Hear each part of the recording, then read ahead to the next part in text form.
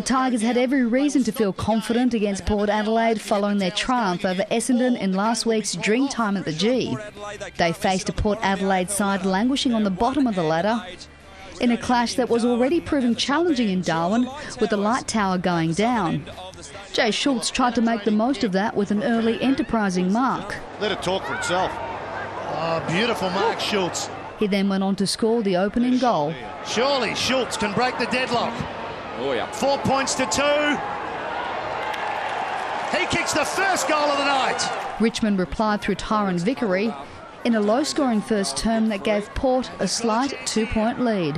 Over the top, it beats everyone. Going back Vickery for the answering goal as quick as you like. How about that? With the other light tower threatening to go down, Cameron O'Shea gave the power a slight boost. A chance here, it's a centering kick.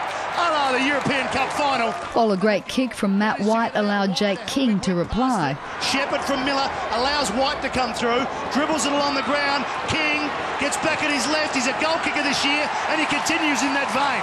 The Tigers forward starting to make an impact.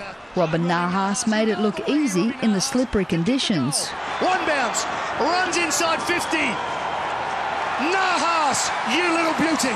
With Richmond starting to dominate, Port's leading goal kicker Robbie Gray reduced the margin to three. Got rid of Batchelor, over the back for Gray. Port Adelaide get their third. The Tigers star goal kicker replied with a not so pretty grab inside the forward 50. Kick it to the top of the square, one of us will mark it.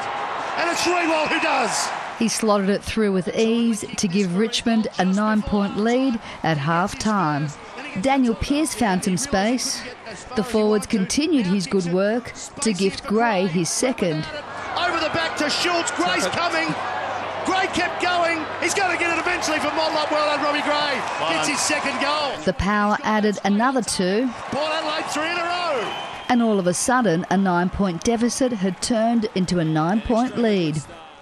With the Tigers under siege, Daniel Jackson went solo against the flow. From there, they went goal for goal. Gets it over to Broadbent, and Broadbent answers quickly for Port Adelaide. Travis Boak among Port's best, and this is why. Breaks away. Wonderful acceleration from the contest. Travis Boak. Oh, that is the goal of the night. And if you thought that was good, wait till you see Gray's third. Robbie Gray, that is an absolute beauty from him. He's got three. With power breaking away, Richmond's Shaun Grigg pulled one back to cut Port's lead to 11 at three quarter time. Needs it to curl back. Proved us wrong. Oh, wonderful finish by Grigg. Justin Westhoff maintained clean hands despite copping a knock, and it paid dividends, giving Port its biggest margin of the game. High and straight. Is a huge goal. Richmond not helping the cause, a turnover setting up Schulz's third. Oh, this is just a real chance here, Port Adelaide. Pearce chips over the top. Well, turnovers can kill you. Simon Phillips put power in the box seat. Phillips oh, and kicks a very important goal. Riewoldt got his second, but with the clock ticking, an upset was on the cards. That was pretty much complete when Gray slotted his fourth. Hey, hey, Gray! He's got four goals. Two late goals, not enough for the Tigers. Port Adelaide claiming just its second win of the season and putting a dent in Richmond's top eight aspirations. Daniela Intilli, Big Pond Sport.